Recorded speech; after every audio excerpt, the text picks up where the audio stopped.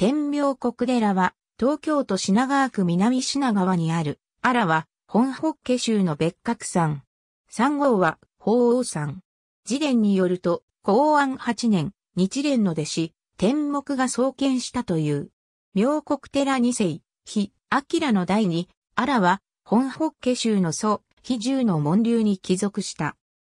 15世紀には、品川港の豪商、鈴木道種の寄進により50頭を含む7、動画欄が建立された。天正18年8月、徳川家康が江戸入府の前日に天明国寺を宿所としたことから、徳川将軍家とのゆかりが生まれ、寺域や門前町が廃領地となったほか、最初の主印状が交付された翌天正19年11月には十国の事業を寄進された。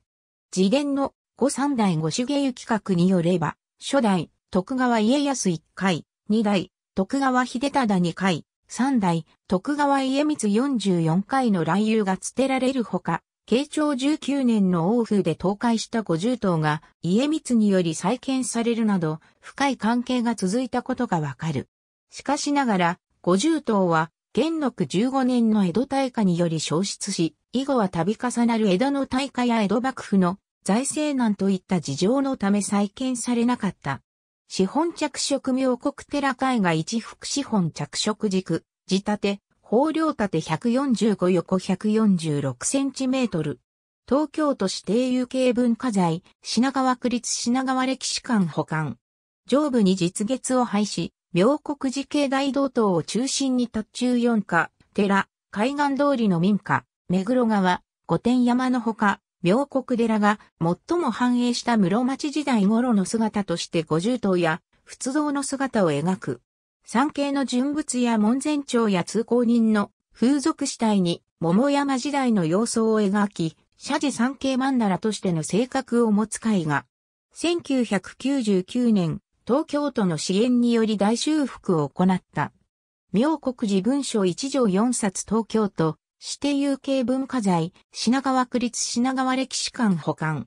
古文書三十通は、永享年間に発給された品川領主、上杉則康らの事業寄進状をはじめ、法徳、京徳年間の足利重氏、柳田持女発給文書、永正年間以降の法上、上杉領陣営の金星、書状等から構成される。上京2年の奥書きが記された、妙国寺演技一冊、冊子体の記録として、五三代五重企画、紅葉不流帳及び、天保五年正月紅葉不流帳の3冊が伝えられる。日重筆、曼荼羅一幅品川区指定有形文化財。法領縦38横15.4センチメートル、資本牧所軸地縦。中央に南無妙法蓮華経の七字を対処し、その左右及び下に、他方、釈迦、四菩薩、日蓮など、多数の諸尊名が、凡字の趣旨で書かれている。四徳二年に、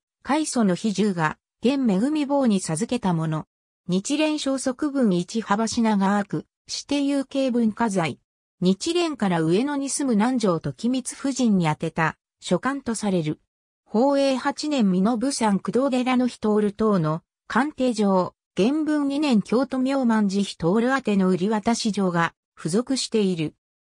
日重不受文及び沖文写し一貫品川区指定有形文化財。寛永14年に批派が京都の若光寺所蔵の比重の自筆本を書写したもの。天明国寺五十島祖石品川区指定歴史資料。明国寺五十島は室町時代中頃に建立された後、慶長19年に王風により倒壊した。江戸時代初期寛永11年、徳川家光により再建されたが、元禄15年に消失した。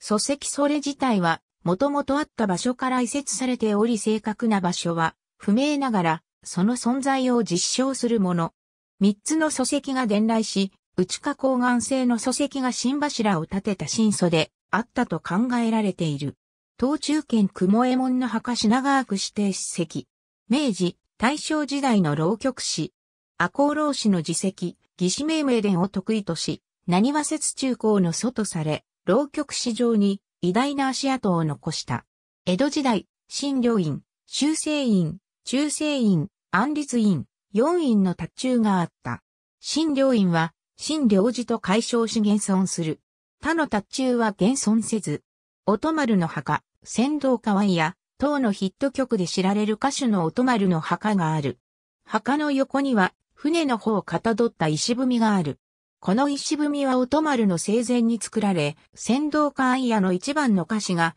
音丸の直筆によって彫られている。京浜急行電鉄青物横丁駅から徒歩5分。ありがとうございます。